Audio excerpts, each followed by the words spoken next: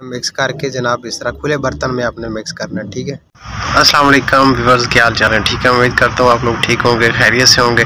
तो आज मैं आपके लिए हाज़िर हूँ जनाब एक छोटी सी लगाने की वीडियो बना ली थी, ठीक है? हमारे पास वीडियो नहीं थी, इसलिए हमने बना दी उसकी, ठीक है? तो आज मैं लेके आया हूँ आपके लिए बटेरे की रेसिपी ठीक है? बटेरे को मसाला बिल्कुल आसान तरीका है, बिल्कुल आसान रेसिपी है, ठीक है? और इसके अलावा मतलब बहुत भी अच्छी सारी वीडियोज़ वगैरह आती रहती हैं। अगर आप मेरे चैनल पर नए हैं तो मेरे चैनल को सब्सक्राइब कर दें और साथ बेल को ज़रूर प्रेस कर हैं ताकि मेरी कोई भी वीडियो आप तक पहुँचे। मतलब जब भी मैं चढ़ाऊँ, वो आप तक पहुँच जाए, ठीक है? तो जनाब, हमारा बिल्कुल देसी स्टाइल है, मसाला लगाने का, और बिल्कुल सिंपल सा, ठीक है? तो अगर आप लोगों को समझ जाती है, ठीक है? नहीं अगर आती तो मुझे कमेंट्स में ज़रूर बता दिया करें।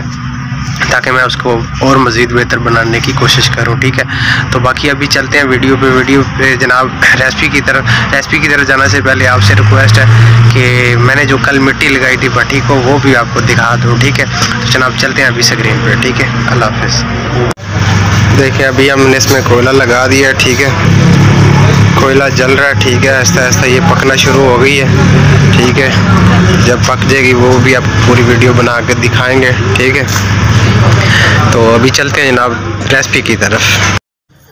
तो दोस्तों, आ गए हम जनाब स्क्रीन पे, ठीक है? स्क्रीन पे अब आगे आपको बताएँगे। ये देखें, इस तरह बटेरे आपने थोड़ा सा लगा लेना ताकि इसकी जो स्मेल है वो निकल जाए, ठीक है? ये देखें आप लोगों के सामने, ठीक है?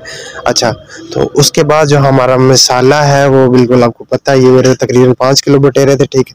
इसमें मैं आधी मोट मतलब जो है ना, मिर्च डालूँगा, ठीक है? बाकी आप अपने हिसाब से भी डाल सकते हैं, ठीक है? हमारे हमारी जो मतलब लाल मिर्च है ना, वो थोड़ी तेज़ है, ठीक है? इसलिए हमने कम इस्तेमाल किया। आप अपने हिसाब से भी इस्तेमाल कर सकते हैं, ठीक है?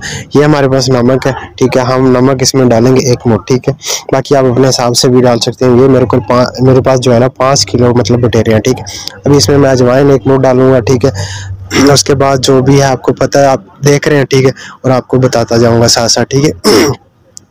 तो जनाब, ये देखें ये मेरे पास है जनाब गरम मसाला। अब मतलब गरम मसाला मेरा जो होता है ना, वो तेज़ होता है। मैं इसलिए सिर्फ़ एक टीस्पून मतलब डाल लें मतलब बाकी आप अपने हिसाब से भी डाल सकते हैं, ठीक है?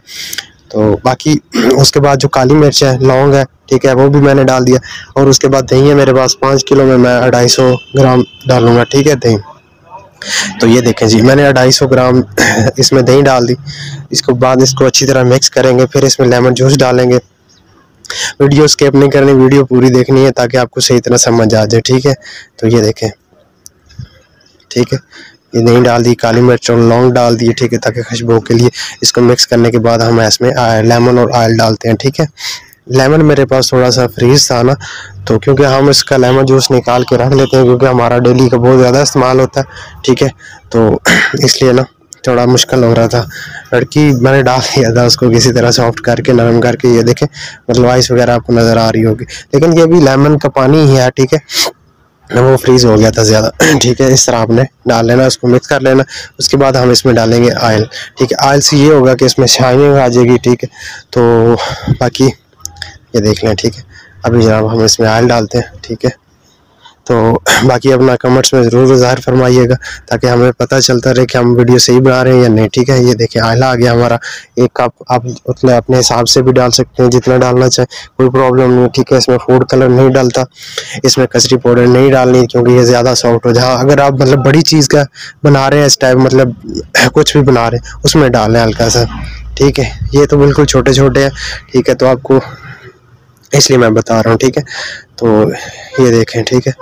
अभी जनाब हम इंशाल्लाह आपको पका के दिखाते हैं, ठीक है?